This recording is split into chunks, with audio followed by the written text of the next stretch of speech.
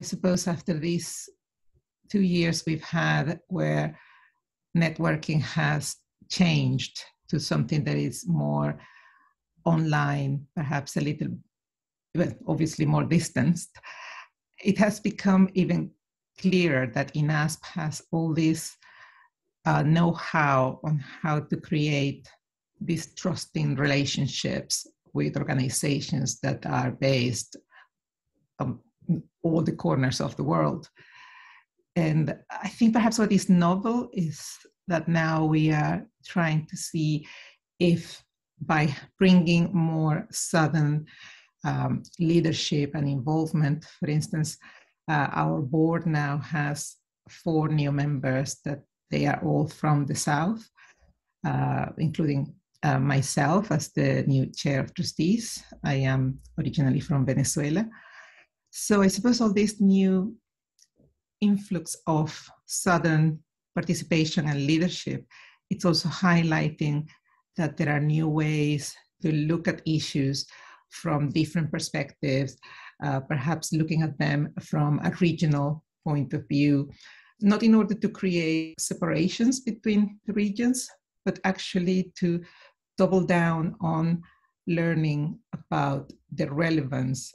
and the, the differentiated relevance of some issues for different regions. And then we can learn about different ways of implementing solutions, implementing ways of supporting researchers from the South, particularly women, as they uh, advance their careers and as they try to uh, use and apply the knowledge that they have created in their local uh, environments. But also, perhaps because we are INASP, we can work with our partners to learn the lessons from their part of the world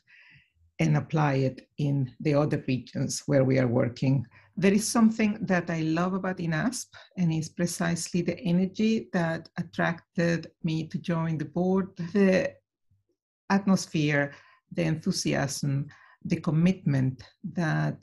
the board members, the staff, and the advisors and associates have about INASP. Uh, when I when I joined, I did a series of interviews with uh, different stakeholders from INASP. And I was so impressed at the level of respect that INASP commands and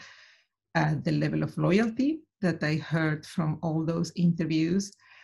And then in my day to day interactions with the other board members and the staff, uh, advisors, and associates, there is this goodwill